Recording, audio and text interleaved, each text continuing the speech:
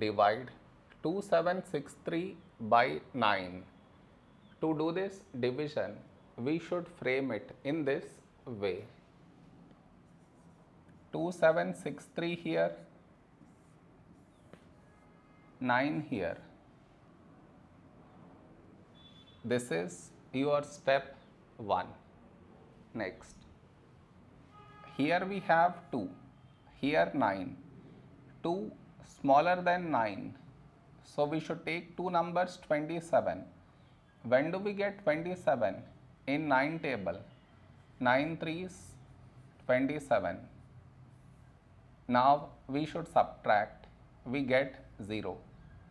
After this, bring down the beside number. So 6 down. Here we have 6, here 9. 6 smaller than 9. So we should bring down the second number.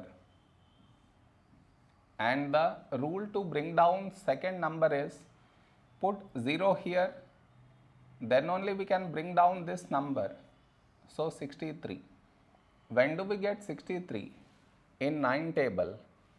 9 sevens 63 now we subtract we get 0 no more numbers to bring it down so we stop here. This is our remainder. This is our quotient